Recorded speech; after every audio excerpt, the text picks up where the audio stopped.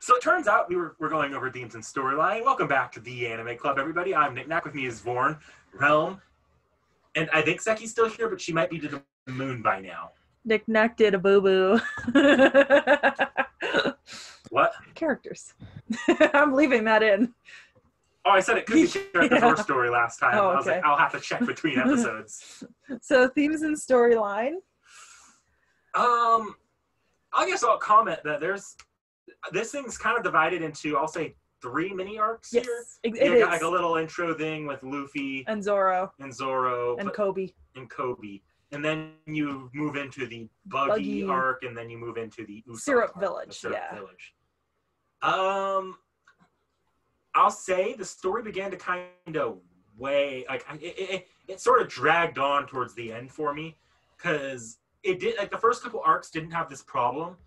However, then you get to the Syrup Village arc where it's not Dragon Ball bad, but you end up with like three or four episodes all on this exact same fight on this exact same hill, and it's just like, can we move on to a, pe- a different piece of scenery anytime soon? I'm dying for a change of scenery. Yeah. Well, luckily we did finish the arc. Uh, story pretty much for me was kind of very simplistic. It was easy and predictable. It's really a for kids, like, and yeah, it's. A Well, this isn't the 4Kids that we watched. Hopefully, I hope. no, not, but at it, but it least. is this is Yeah, yeah, targeted no. toward kids. Yeah. It's Yeah. shonen, so it's obviously targeted to young boys ages 10 to 14. I, I mean, the early seasons are quite. Uh, I'd almost call them kodomomuke sometimes, but it's a little too violent. Yeah, I, was gonna say there's a, a bit Yeah. of blood for a bit of Yeah. blood in there. Yeah, there, it's a little too violent. Also, kudos for the violence so early on. Yay. Uh, I, I will say though, um, so One Piece is really, really long, right? And so it has a little bit of a, uh, it has a little bit of a weird breakup for arcs, right? So we're talking about there are three arcs in the 17 episodes we watched, and there are there are three arcs inside of this bigger arc inside of a saga. So One Piece has so many arcs that like right now we're watching the first three arcs of the East Blue saga. It has so many arcs. The arcs have to be broken into arcs, and there's so many of those arcs that the arcs have to be broken into sagas. Yeah, yeah. So this is all part of the, basically the first half of One Piece, which is called the Super Rookie Saga, and then this is the first part, East Blue, and we're watching Romance Dawn, Orange Town, and Syrup Village. Um, so th- and this is all this is all part of like the beginning of One Piece. So we're we're finding crew members, we're kind of moving along, we're like seeing uh, fighting powers and that kind of stuff. It's it's intro. This, this is this entire arc just introduces character after character with their own arcs. So far, the only characters we have, like our, our only cast, main cast, like so far we have in the main cast is Luffy, Zoro, Nami, and Usopp. Usopp. Yeah, yeah, and we've had arcs for Luffy and Zoro, and then um, Usopp. So Nami's arc technically hasn't started. Uh, Yeah. Buggy is still part of uh, Orange Town. Is still technically part of Luffy Zoro because Mhm. Nami has a bigger arc later that we're going to be seeing. Yes, I remember most of Nami's uh, Nami's arc, but I won't spoil anything for obvious reasons. Yeah. Nami's arc is a good one though, so I'm excited to get us to it. Yeah.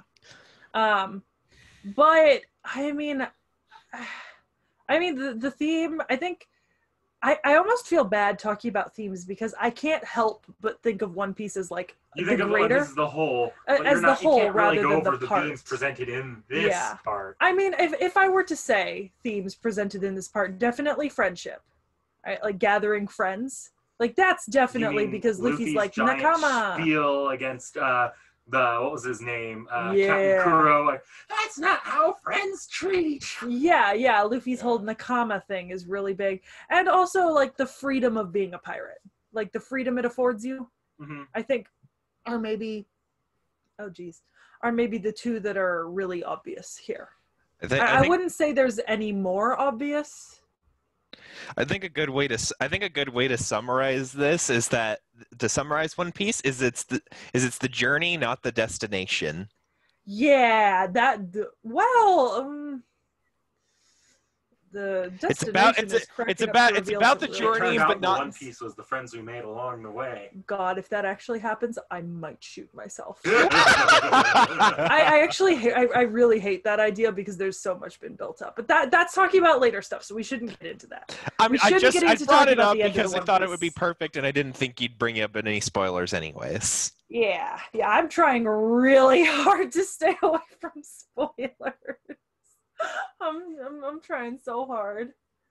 But yeah, no, I, I, it's pretty simplistic. I mean, it's it's shonen, friends and freedom. Like we're gonna do what we want.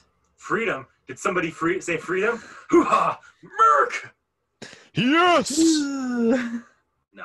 No. When someone makes a move of which we don't approve, who Oh, is it that always intervenes?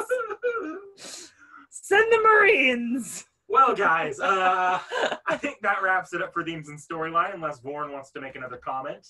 Justice!